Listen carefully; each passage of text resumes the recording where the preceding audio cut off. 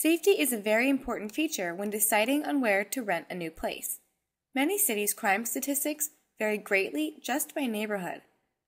CrimeReports.com allows you to see what's going on in neighborhoods in the U.S. Just enter in the address, city, or zip code. Now, here I can see a detailed map of everything that the police have been called for anything from theft to robbery, and they all have details.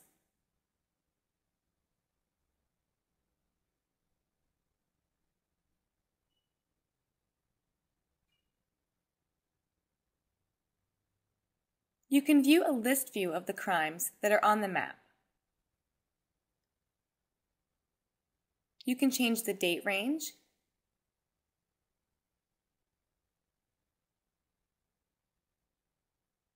select specific crimes that you want to view,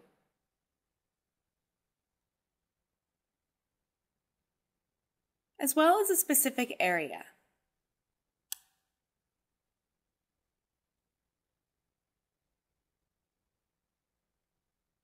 There's also an option to view sex offenders on the map as well. You can also choose to set up an alert to be notified when a crime has taken place in a specific location. If you're not located in the US, check out crimestatistics.info, which allows you to browse crime stats from all over the world. Thanks for watching, and don't miss the next episode in the Apartment Hunting Online series.